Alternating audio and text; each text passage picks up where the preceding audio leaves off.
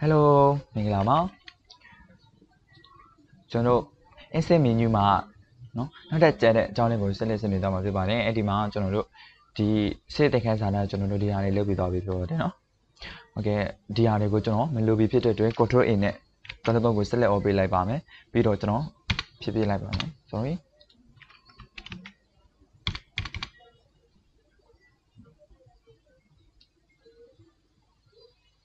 okay အဲ့တော့ကျွန်တော်အဲဒီပင်ချအောင်နော်ဒီဒီကောင်လေး1နဲ့3 4 4ကိုပြီးပြီနော်ကျွန်တော်ဒီအနောက်မှာဒီအောင်လေးတွေဆက်ပြီးတော့ဆင်နေတော့မှာဖြစ်ပါတယ်အဲ့ဒီမှာကျွန်တော်တို့ပင်ချပေါ့ဒါကပင်ချပါလဲဆိုတော့ကျွန်တော်တို့ရုပ်ပုံတွေထည့်တဲ့ဟာဖြစ်ပါတယ်ရုပ်ပုံတွေဓာတ်ပုံတွေထည့်တာဖြစ်တယ်နော်အဲ့ဒီတွေကျွန်တော်ဒီပင်ချပေါ့ပင်ချမှာနှစ်ခုရှိပါတယ်အဲဒီတစ်ခုကတော့ကျွန်တော်တို့ကွန်ပျူတာထဲကဓာတ်ပုံဖြစ်ပါတယ်နော်ဒီအောင်ကတော့ online ပင်ချဖြစ်ပါတယ်ကျွန်တော် online ပင်ချစပြီးတော့လုပ်ရအောင် online page လို့ခုတည်းကျွန်တော်တို့ဒီအောက်အများလေးကိုနေပြီးတော့ online page ဆိုတော့နော်ဟို cloud လေးကိုရွေးပေးလိုက်ပါအဲအဲ့ဒီမှာသူကတော့ဒီမှာ online page သူကဖင်ရှာဖြစ်ပါတယ်နော်အဲ့ဒီမှာကျွန်တော်တို့အဲကျွန်တော်တို့ channel သိမဲ့ဟာတခုခုပေါ့ဥပမာကျွန်တော်ထားမှာတော့ app ပဲပေါ့ app ပဲဖြစ်တယ်အဲ့ဒီမှာကျွန်တော်ဒီဒီနော်ဒီ app ပို့လေးရွေးလိုက်မယ်ဒါလား ဒီကောင်လေးရွေးလိုက်မယ်ပြီးတော့ဒီကောင်ရွေးပြီးဆိုတော့ねအိမ်စားလုံးနဲ့လိုက်ပြီးပြီဆိုတော့ねကျွန်တော်တို့ရဲ့ဖိုတိုကနော်ကျွန်တော်တို့ရဲ့ data ပုံလေးကဒီထဲကိုရောက်အောင်မှာဖြစ်ပါတယ်အဲဒီမှာကျွန်တော်တို့ဒီ data ပုံလေးကိုအဲငယ်လို့လည်းရတယ်အဲနော်ငယ်လို့လည်းရတယ်ဒီ down ကနေပြီးတော့နော်ဒီကောင်လိုလည်းဒီလိုမျိုးလည်းဆွဲလို့ရတယ်ဒီကောင်မျိုးလည်းချုပ်ချက်လို့လို့ရတယ်နော်ဒါကတော့ online page ချတဲ့ဟာကျွန်တော်တို့ရဲ့ နော်ကျွန်တော်ဒီကောင်ကိုပြင်ဆင်နေဆိုရင်ဒီမှာပုံစံအမျိုးမျိုးရှိပါတယ်ဒီဒီမှာကိုကြိုက်မဲ့ပုံစံလေးတွေရွေးပြီးတော့အသုံးပြုနိုင်မှာဖြစ်ပါတယ်အဲဒီလိုပုံစံလားဒါလားဒီလိုပုံစံလေးလားပေါ့ဒီထက်မှာကိုကြိုက်နေတဲ့မဲ့အပုံလေးတစ်ခုကိုရွေးပြီးတော့ထည့်နိုင်မှာဖြစ်ပါတယ်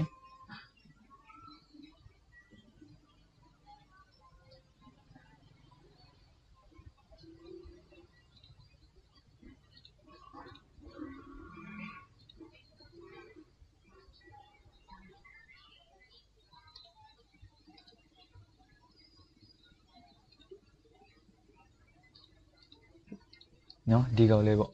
ဒီကောင်လေးကိုကျွန်တော်တို့ထည့်ထားမယ်ပြီးပြီဆိုရင်လည်းကျွန်တော်တို့ဘယ်လိုလုပ်မလဲနောက်တစ်ခုကနော်နောက်တစ်ခုကဘာလဲဆိုတော့ this PC နော် to the device ထဲကအပုံလေးဖြစ်တဲ့အဲ့ဒီမှာကျွန်တော်တို့ this PC ကိုနှိပ်လိုက်ပါမယ် this PC တဲ့ကကျွန်တော်တို့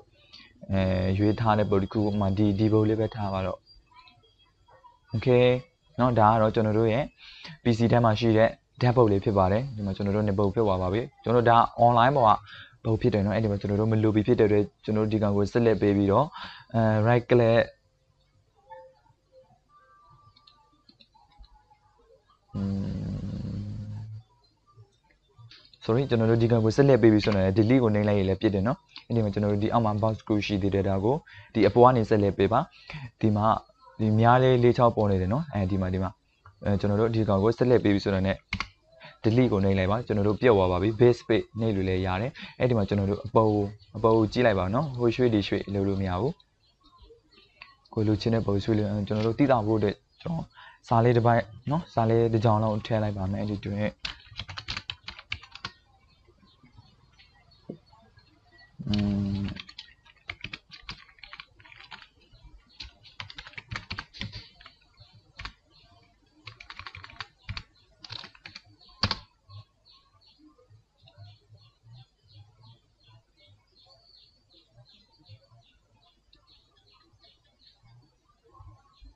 ဒီကောင်လေးထည့်လိုက်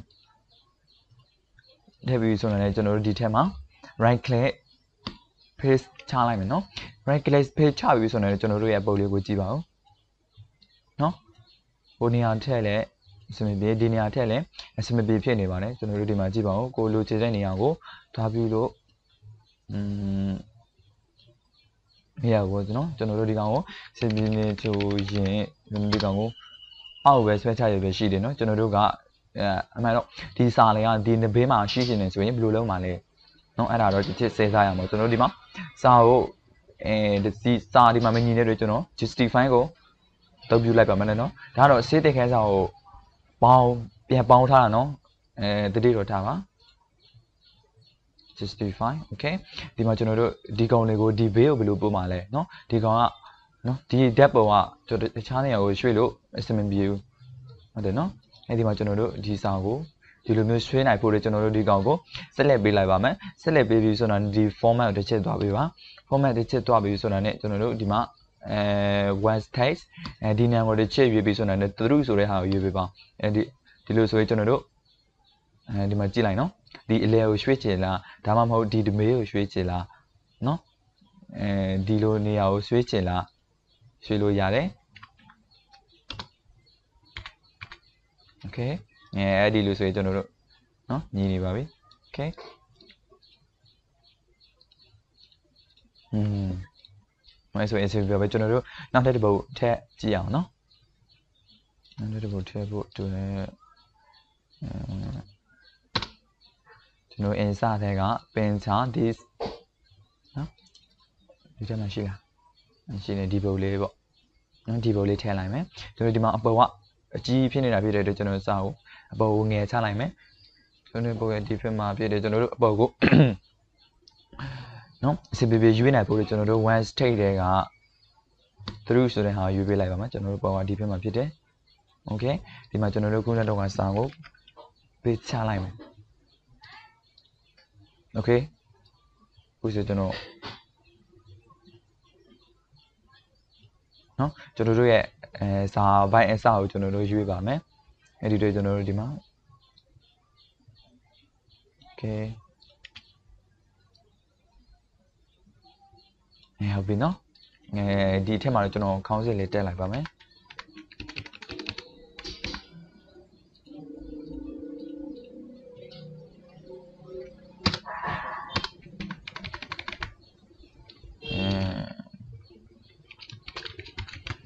ထားပါတော့နော် first first letter ဒီကောင်ကိုကျွန်တော်တို့ခေါင်းဆက်ဖြစ်တဲ့အတွက်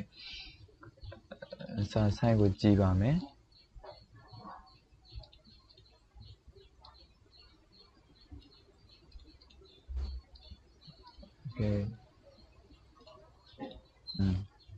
ဟုတ်ပြီကျွန်တော်တို့ဒီလိုမျိုး အဲ depth လေးကိုဒီလိုမျိုးထည့်ပြီးတော့ကျွန်တော်တို့စိတ်ကြိုက်နေရာကိုရွှေ့ခြင်းလို့ဆိုရင်ဒီ format ထဲဟာဒီ one state နဲ့သူတို့ကိုရွှေ့ပြီးတော့ကျွန်တော်တို့ရဲ့ပုံကိုချက်သလိုရွှေ့ထုတ်ပြီးလို့နိုင်ပါတယ်ဒီညမှာပုံကိုကြီးခြင်းနေဆိုရင်လည်းကြီးလို့ရပါသေးတယ်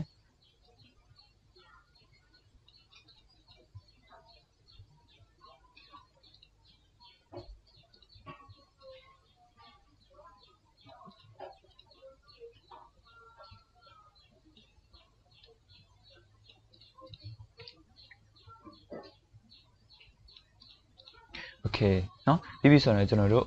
ဒီတစ်ခုပြီးတော့ဒီ shape ပေါ့နော်ဒီ shape ကိုကျွန်တော်တို့ရွေမယ်ဒါဆင်ကအများကြီးရှိတယ်ဒီနေရာမှာနော်ဒီနေရာမှာကိုကြိုက်တဲ့တစ်ခုခုပုံမှာဒီဒီကောင်လေးပဲထားမှာတော့နော်ဒီကောင်လေးမှာကျွန်တော်တို့ဒီလိုလဲလဲလို့ရတယ်ဒါဒီလိုလဲလို့ရတယ်ကျွန်တော်တို့ဒီမှာ border လေးကိုကြည့်ပါဦး border လေးကအယောင်လေးအဲတခြားအရာကြီးဖြစ်နေတယ်အဲဒီကိုကျွန်တော်တို့ပြောင်းလို့ရပါတယ်ဒီမှာ shape online ပေါ့နော်ဒီ online မှာကျွန်တော်တို့ ဘာရလို့ချစ်လဲအနေရောင်လားနော်ဘာရမှမလို့ချင်ဘူးဆိုရင် no online ထည့်လိုက်ရင်ကျွန်တော်တို့ဘာရမှမြင်ရတော့မှာမဟုတ်ပါဘူးအဲဒီမှာကျွန်တော်တို့အနေရောင်လေးထားလိုက်မယ်ဆိုရင်ကျွန်တော်တို့အနေရောင်လေးမြင်တွေ့ရမှာဖြစ်ပါတယ်ဒီထက်မှာကျွန်တော်တို့နော် anti-taste စာလေးလည်းရေးလို့ရတယ် sorry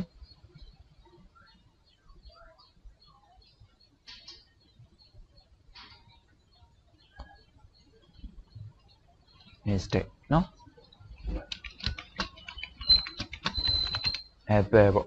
ဟုတ်ပြီနော်ဒီကျွန်တော်တို့ဒီဆောင်ကိုအလဲကိုရောက်ချင်တယ်ဆိုရင်ဒီ hold ထဲကဒီလိုမျိုးအလဲပို့လိုက်ရင်ကျွန်တော်တို့ဆောင်အလဲရောက်ပါပါပြီနော်စာလုံး site ကြည့်ချင်တယ်ဆိုရင်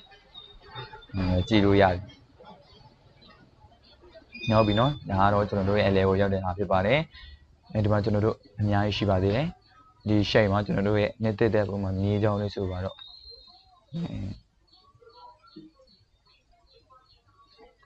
โอเคမကျွန်တော်တို့အဆင်ပြေတယ်လို့ ဒါကတော့ arrow key လေးနဲ့ရွှေ့လိုက်တာဖြစ်တယ်။ Okay เนาะဆင်ပြေမယ်လို့ထင်တယ်။ Okay ပြီးပြီဆိုတော့ねကျွန်တော်တို့ဒီမှာဒီဘေးကတော့ icon ဖြစ်ပါတယ်။ဒါကတော့အခုဘာစစ်အသက်မှာမှရတာเนาะ အရေးပါဆေးလေးမှာရမှာမဟုတ်ပါဘူးကျွန်တော်တို့ဒီမှာအဲ down လေးပဲထားပါတော့အဲစားလို့လည်းနေတာနဲ့ကျွန်တော်တို့ down ဘုတ်လေးပေါ်လာမှာဖြစ်တယ်အဲ့ဒီ down ဘုတ်လေးကိုဒီထဲထည့်မယ်ကျွန်တော်တို့အပုံကိုနောက်တစ်ချက်ယူကြည့်အောင် အဲဒီထဲမှာရှိလား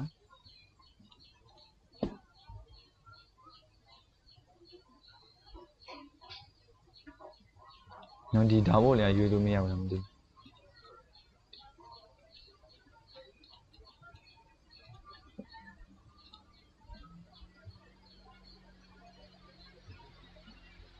ဟုတ်တယ်နော်ဒီဓာတ်ဘုတ်လေးက icon ဖြစ်တဲ့အတွက်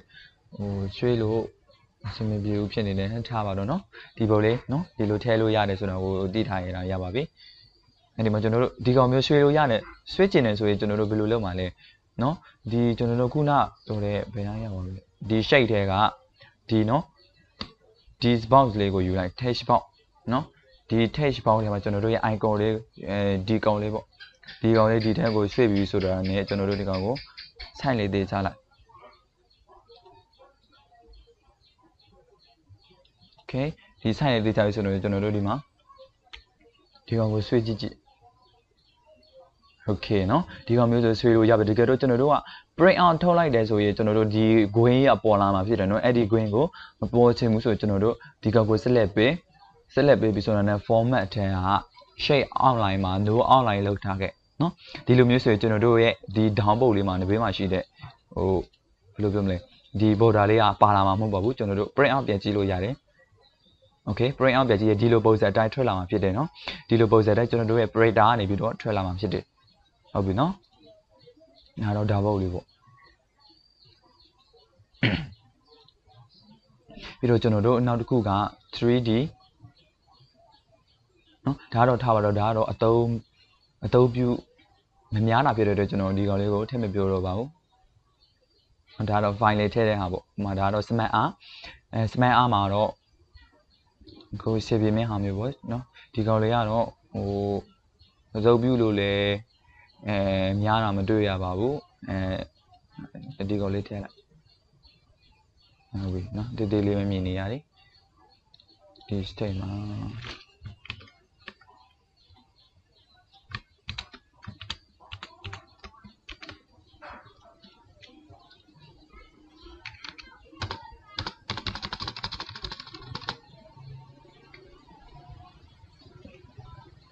မတ်အားစမတ်အားတဲ့ဟာ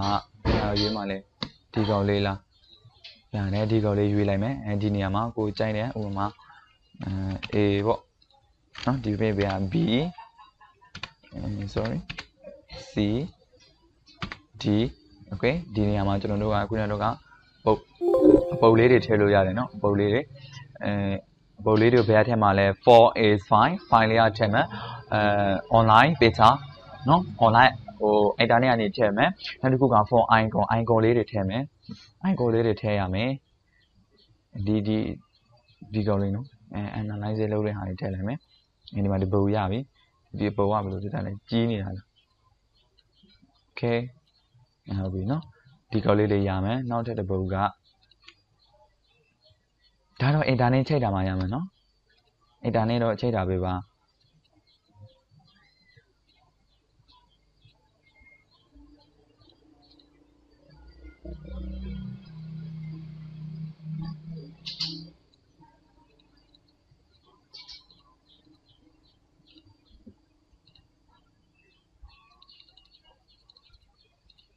โอเคเนาะဒီလိုမျိုးထည့်လို့ရတယ်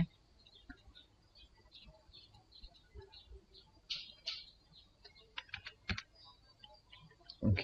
နောက်နောက်တစ်ခွေကဘာလဲဟိုနောက်တစ်ခွေကเนาะ smart check เนาะဒီ check ကဘာလဲဆိုဥမာအဲရောင်းရငွေပေါ့ရောင်းရငွေလို့မှာဒီဒီကောလေးเนาะဒီထဲမှာကိုကြိုက်မဲ့ဟာမျိုးရွေးလိုက်ပါဥပမာဒီကောင်လေးထားပါတော့ okay ဒီကောင်လေးကဘာလဲဆိုတော့ဥပမာ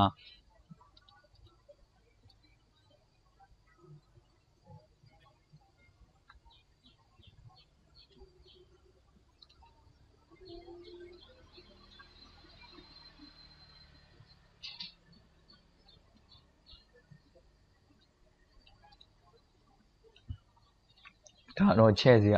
ဆိုရင်ဒါတော့ချက်စီလည်းဥမာဒီ အဲဒီကောင်မှာဥမာထားပါတော့အဲတလအဲတစ်နှစ်အတွက်ရောက်ရောက်ငယ်ပေါ့ J J A N U A January and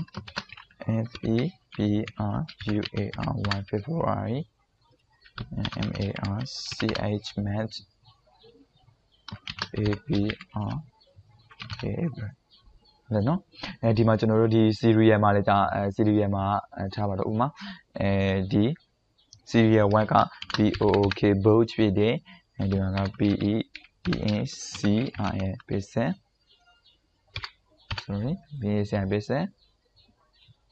ဒါကတော့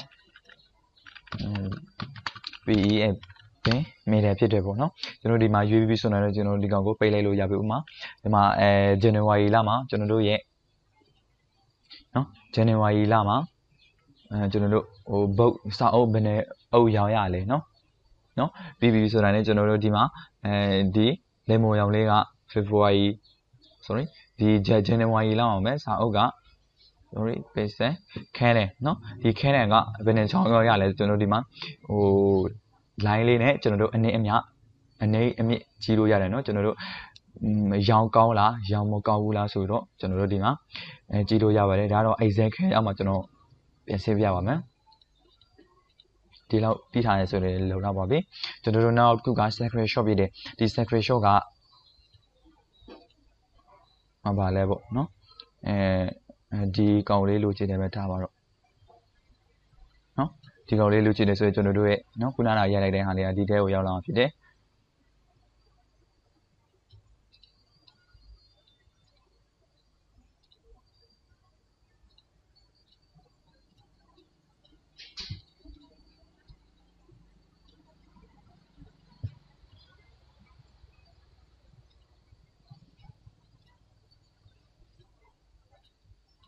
ဆိုဒီဒီကြား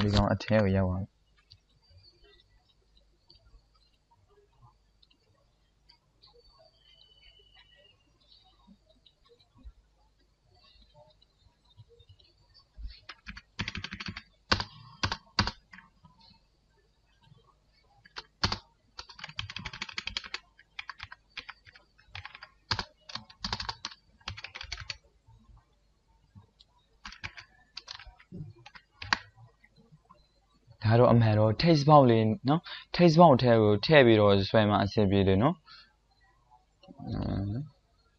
အဲဟိုဖြစ်လာမယ်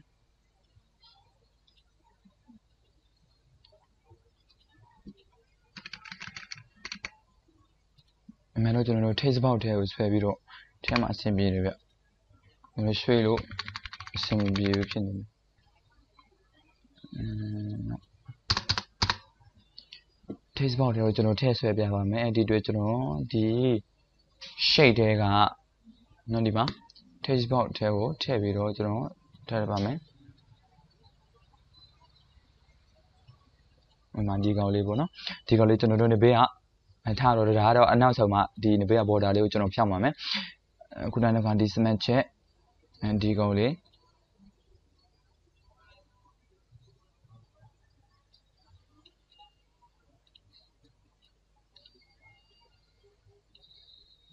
okay အဲရပြီဆိုတော့ねကျွန်တော်တို့ဒီမှာနော်ဒီထဲကိုထည့်ပြီးတော့ကျွန်တော်တို့ထည့်ဆွဲလို့အစီပြပါတယ်အဲ့ဒီဆိုရင်ကျွန်တော်တို့လိုတဲ့နေရာကိုရွှေ့လို့ရတယ်ဒီမှာ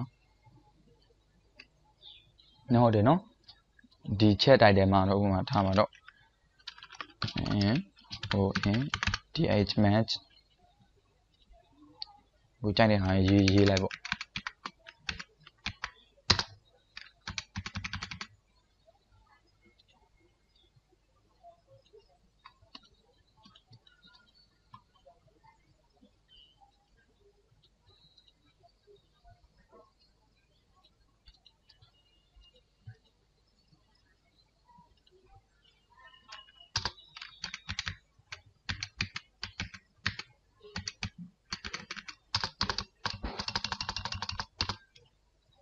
မြည်ပြီးဆိုတော့ねဒီနေရာမှာနောက်ထပ်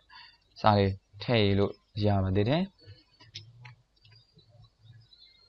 screenshot ပေးပြီးเนาะပြီးဆိုရင်လည်း online video ဒါကတော့အဲကျွန်တော်တို့ရဲ့ text file ထဲမှာ online video အဲစာလေးပဲရေးပါဆိုတော့ကျွန်တော်တို့ဗီဒီယိုလေးကတော့မထည့်ဖြစ်ပါဘူးเนาะအဲထည့်မယ်ဆိုလည်းဒီကောင်ကိုနှိပ်ပြီးတော့ကျွန်တော်တို့ဒီမှာစေပြတဲ့ဟာကိုရွေးပြီးတော့ထည့်လိုက်ဥပမာ YouTube ဆိုရင်လည်း YouTube link လေးထည့်ပြီးတော့ထည့်ပေးလိုက်မယ်ကျွန်တော်တို့ထည့်မပြတော့ပါဘူးเนาะကျွန်တော်နောက်တစ်ခုကပါလဲဆိုတော့ list ဖြစ်ပါတယ် list ဥပမာ မှန်ထားပါတော့အဲ GOOG အဲ Google နော်အဲဒီကောင်လေးကိုနှိပ်လိုက်တာနဲ့ Google ကိုတန်းပြီးတော့ရောက်ချင်တယ်ဆိုရင်ကျွန်တော်ဒီကောင်ကိုဆက်လက်ပေးလိုက်ပါပြီးပြီးဆိုတဲ့ link ကိုနှိပ်ပေးပါပြီးပြီးဆိုတဲ့ extend for your web page ဒါတော့ web page ကနေပြီးတော့ထည့်လို့ရတယ်ဒီအောက်မှာအဲလိပ်စာလေးထည့်လို့ရတယ်ကျွန်တော်တို့ကမဟုတ်ဘူးဒီကိုနှိပ်လိုက်တာကျွန်တော်တို့နော်ဒီ file လေးကိုတန်းပြီးတော့ပွဲလာခြင်းနေဆိုရင်ကျွန်တော်တို့ဒီကောင်ကို select ပေးလိုက်ပါဒီအောက် file ကိုတန်းပြီးတော့ပွဲလာခြင်းနေဆိုရင်ဒီအောက်ဟာကို select ပေးပြီးတော့ ဖွဲ့လို့ရပါတယ်ကျွန်တော်တို့က paste document ဒီ file ထဲမှာရှိတဲ့ဟာကိုပဲကျွန်တော်တို့ဖွဲ့ချင်တော့မှာဒီကောင်ကိုဖွဲ့ချင်တာလားเนาะဒီကောင်ကိုဖွဲ့ချင်တာလားထည့်လို့ရတယ်ကျွန်တော်တို့မှာ create document ဆိုတာအဲ file လေးအသက်ပြန်ပြီးတော့ဖန်တီးလိုက်တာပေါ့ဒီအောက်မှာတော့ email ဖြစ်တဲ့ဒီအောက်မှာကို email ပေးချင်ပို့ချင်တယ်ဆိုရင်အဲဒီလက်ကိုနေလိုက်တာနဲ့ကျွန်တော်တို့ email ပို့တဲ့နေရာကိုတက်ပြီးတော့ရောက်သွားမှာပါကျွန်တော်ဒီမှာကျွန်တော်တို့ဒီအချက်ဆုပ်က file လေးကိုပဲရွေးပြီးတော့ပြတာမှာပါ ညကျန်တဲ့ဟာတွေကတော့ကိုယ့်အကိုစမ်းကြည့်ပါဒီ file မှာကျွန်တော်ဒါပါတော့ https www.google.google.com အာနာမလို့ဘူးเนาะပြီးပြီဆိုတော့ကျွန်တော်တို့ okay ကိုနှိပ်လိုက်ပါ okay เนาะဒီမျိုးလောက်လိုက်ပြီးပြီဆိုတော့ကျွန်တော်တို့ဒီမှာเนาะနှိပ်လို့မရသေးဘူးကျွန်တော်ဒါတော့ကျွန်တော်တို့စာကို edit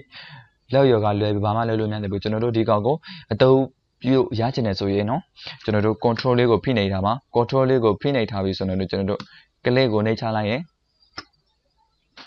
နော်ကျွန်တော်တို့ရဲ့ Google ကိုတဲပြီးတော့ရောက်အောင်ဖြစ်ပါတယ်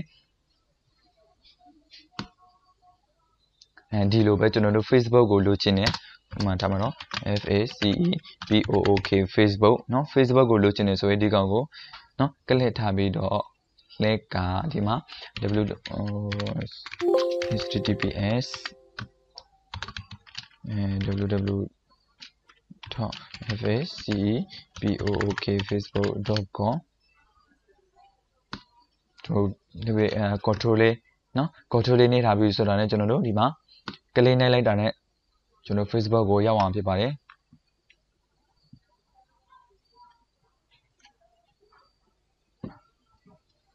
Okay ဆက်မထင်ပါတယ်เนาะပြီးဆိုရင်ဒီကောင်လေးတွေကတော့ထားပါတော့ကျွန်တော်ကတော့အတုံးများတဲ့ဟာเนาะအတုံးများတဲ့ဟာကိုပဲဦးစားပေးပြီးတော့မျိုးဒီထဲမှာရှိသမျှမီနူးတွေအားလုံးကိုဆင်းပြထားတဲ့ကျွန်တော်တို့အတုံးများတဲ့ဟာကိုပို့ပြီးတော့အတုံးပြုသွားမှာဖြစ်ပါတယ်။နော်ဒီလိုကျွန်တော်တို့ဒီကောင်လေးကိုချန်ထားခဲ့မယ်။အဲဒီကောင်လေးနော်ဒီကောင်လေးကထားပါတော့မှာဒီအကြောင်းကအဲ go to if it uh, go to goog အဲ google.com ပေါ့နော်ကျွန်တော်တို့ match တွေ match တွေရေးရေးထည့်ထားတဲ့ဟာပေါ့နော်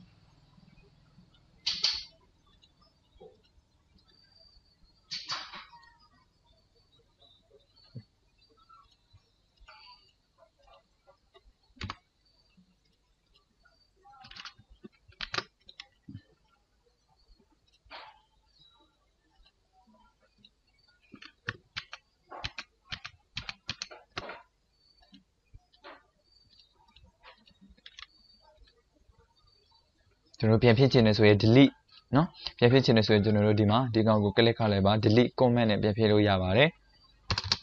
ဟုတ်ပြီနော်ကျွန်တော်နောက်တစ်ခုကပါလဲဆိုတော့ header ဖြစ်ပါတယ် header ကတော့ခေါင်းစဉ်ပေါ့ကျွန်တော်တို့ page ရဲ့ခေါင်းစဉ်ဥမာကျွန်တော်တို့စမ်းနေကြည့်ပါမယ် header ကိုကျွန်တော်တို့နှိပ်လိုက်ပါနှိပ်ပြီဆိုတော့နေအဲ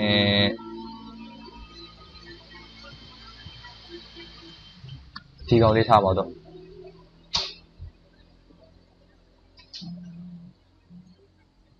ဥပမာအဲ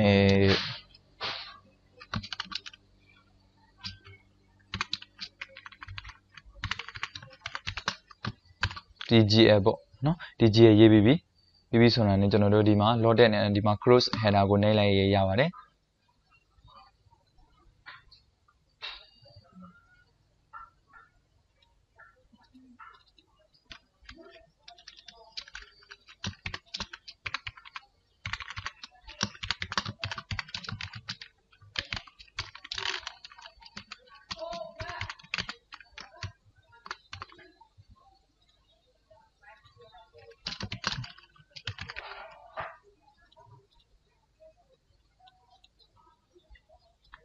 ပြီးဆိုရင် cross header ကိုနှိပ်လိုက်ပါ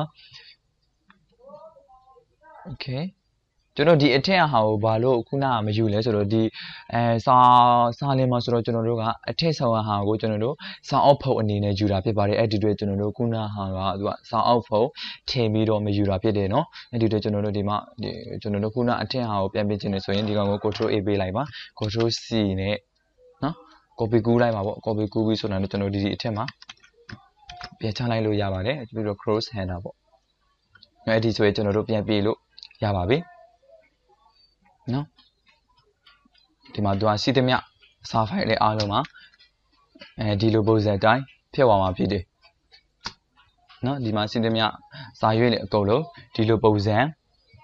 ဖြစ်သွားမှာဖြစ်ပါတယ်အဲ့ဒီတော့ကျွန်တော်တို့အဲဒီစီးသမျှဟာလေခုနတော့ကလုပ်တဲ့ဟာကိုကျွန်တော်တို့မလိုချင်ဘူးဆိုရင် control z z z z နော် control z နဲ့အနောက်ကိုပြန်ဆက်လို့ရတယ်ဒီကောင်ပါနော်ဒီကောင်လည်းအသုံးပြုလို့ရတယ်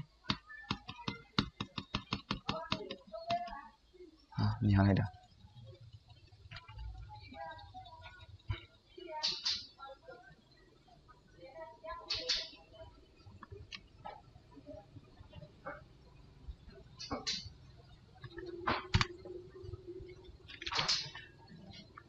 โอเคပြီးပြီဆိုတော့ကျွန်တော်တို့ဒီနဘေးကဖူတောင်ကိုနော်ဖူတောင်ကိုစပြီးတော့ဆွေးနွေးပါမယ်ဖူတာဖူတာဥပမာထားပါတော့ဒီဒီကုတ်လေးပေါ့နော်ဒီကလေးဥပမာ page အဲ page page 0 page 1ထားလိုက်မယ်နော် page 1ထားပြီးဆိုတော့လည်းဒုတိယစာရွက်တစ်ရွက်ကဘာဘာဖြစ်သွားမှာလဲ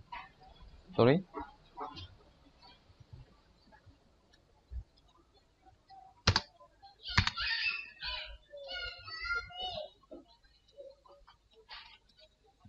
ဒီကားဘာလို့မပြောင်းရလဲဟိုလေခုနထားမှာတော့ကျွန်တော်0ပေါ့နော်ဒါတော့ခုနပြောတဲ့ type ပဲသူကပထမအစာရုပ်ကိုစာအောက်ဖုတ်အနေနဲ့ယူလိုက်တာဖြစ်တဲ့အတွက်သူကထည့်ပြီးတော့မရေတွက်တာဖြစ်တယ်နော်အဲဒီကျွန်တော်တို့ဒီဒုတိယဟာနေပြီးတော့စပါမယ်စပါမယ်ဖူတာဒီကောင်လေးဒီမှာ1ဖြစ်သွားပြီဒီကောင်လေး1ဖြစ်သွားပြီဆိုတာ ਨੇ ကျွန်တော်တို့ cross နော်ပြီးဆိုတော့ကျွန်တော်တို့ enter လေးစစ်လိုက်ပါမယ် enter လေးကိုနှိပ်စစ်သွားပြီဆိုတော့ဒုတိယစာရေးက2ဖြစ်တယ်အဲနောက်ထပ်စာရေးတစ်ရက်က3 4 5 6 7 8 9 10ကိုစာရေးရေးရင်ရေးသလောက်သူ့ရဲ့အောက်ကဒီ paste number လေးကပေါ်နေမှာဖြစ်တယ်နော်ကဲပြီးပြီဆိုတော့ဒီ taste bar taste bar တော့ခုနပြောပြောထားပြီးပြီနော်ဒီ taste bar ကကျွန်တော်တို့ဒီ taste bar မှာနောက်ခုန taste bar နဲ့အတူတူပဲဒီထက်မှာရှိတဲ့ taste bar နဲ့เนาะဒီကောင်ကဒီလိုမျိုးဆွဲလို့ရတယ်เนาะဒါဆွဲလို့မရဘူးလားဆိုတော့ရတယ်ဥပမာကျွန်တော်ဒီကောင်လေးထားတော့เนาะအဲဒီမှာကျွန်တော်တို့ခုနဟာလေးထည့်ပြီးတော့ဒီထက်မှာကိုလိုချင်တဲ့ format လေးထည့်ပြီးတော့သူကထည့်ရေးထားတာဖြစ်တယ်เนาะဒီကောင်လေးကို menu ပဲလုပ်လို့ရတယ်အဲ့ဒီခန်းကိုကျွန်တော်နောက်ဗီဒီယိုမှာဆက်ပြီးတော့ဆင်နွှဲသွားမှာဖြစ်ပါတယ်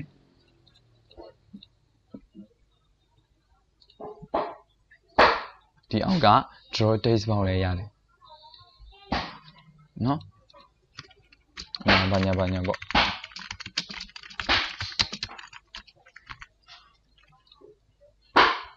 ဟုတ်ပြီနော်ဒီနေ့ဘက်ကအခွဲကြပါတော့ဒါတော့ညာတော့ထားပါတော့ဒါတော့စာလို့အလားပဲအဲရွေးချယ်တဲ့ဟာတကွက်ဟုတ်ပြီနော်အဲ အဲဆိုရင်ဒီလောက်ထိရမယ်လို့အဆင်ပြေပါတယ်အဲခုကအဲ movie ကဒါရှင်နေပြီဖြစ်တဲ့အတွက်ကျွန်တော်တို့အဲနောက်တစ်ခန်းမှာအဲကျွန်တော်တို့အဲဒီဖက်ဟာကိုနော်ရွေးပြီးတော့နော်ဒီဖက်နှစ်ခုကိုဆက်လက်ပြီးတော့ဆွေးနွေးသွားမှာဖြစ်ပါတယ်အားလုံးပဲအဆင်ပြေပါစေဗျာကျေးဇူးပါ